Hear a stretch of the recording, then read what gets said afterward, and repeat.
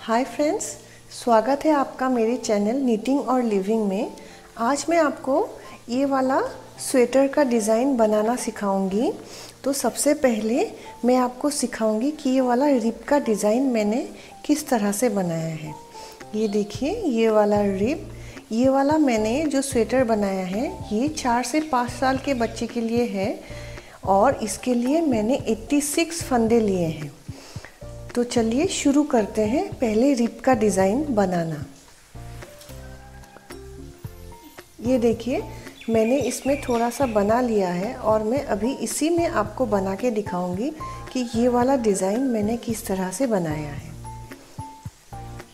तो मैं 12 नंबर का निडल यूज़ कर रही हूँ इसके लिए। जो ये वाला डिज़ाइन है, ये सीधा उल्टा सीधा उल्टा का डिज़ाइन है बट थोड़ा सा अलग है। हम इसमें जो सीधा फंदा है, इसमें हम कैसे बुनेंगे, ये देखिए। ये हम नॉर्मली हम सीधा फंदा इस तरह से बुनते हैं, लेकिन इसमें हम इस तरह से नहीं, हम पीछे वाले साइड से डालेंगे। डालने के बाद दूसरी चीज़ जो चेंज हो रहा है, वो क्या है? हम नॉर्मली इस तरह से सीधा फंदा बुनते हैं, लेकिन इसमें हम इस तरह से बुनेंगे। बुन के हम इसे निकाल देंगे। दोबारा से सिमिलरली हम इस तरह से सीधा फंदा बुनेंगे। फिर हम नेक्स्ट आ जाएँगे उल्टे फंदे में। ये हमारा राइट साइड का रो है, ध्यान रखिए। तो हम लेफ़्ट वाला जो जो उल्टा फंदा है, उसे उल्टा ही बुनेंगे। फिर दोबारा से दो सीधा फंदा बुनेंगे हम। इस तरह से ये देखिए। फिर दोबारा दो सीधा और फिर दो उल्टा। ये देखिए। एक, दो।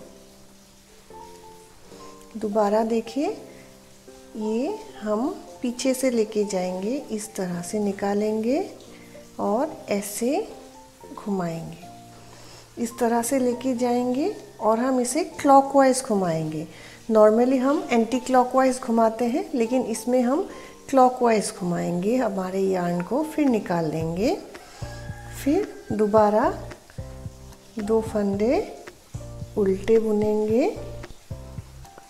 फिर यार्न को पीछे लेके जाएँगे दोबारा। इसे, इसमें से पीछे से डाल के इस तरह से सीधा फंदा बुनेंगे। फिर यार्न को सामने लाएँगे और दो उल्टे फंदे।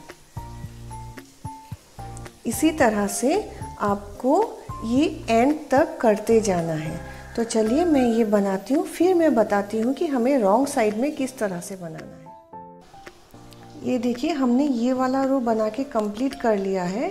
अब हम आएँगे हमारे रॉन्ग साइड में। ऐसे जब हम टू बाई टू का रिप बनाते हैं तो हम जहाँ सीधा दिख रहा है, वहाँ सीधा बनाते हैं और जहाँ उल्टा दिख रहा है, वहाँ हम उल्टा बनाते हैं। लेकिन इसमें आपको क्या करना है? इसमें आपको पूरे रो में उल्टा सिलाई बनाना है। इसमें आपको कोई भी सीधा सिलाई नहीं बनाना है।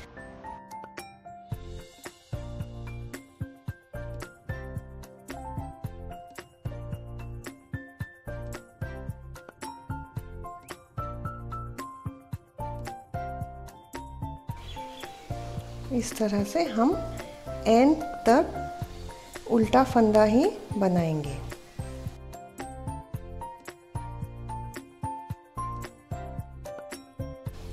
ये देखिए हमारा ये रिब बन के कंप्लीट हो चुका है। इसे हम फोर सेंटीमीटर तक बनाएँगे।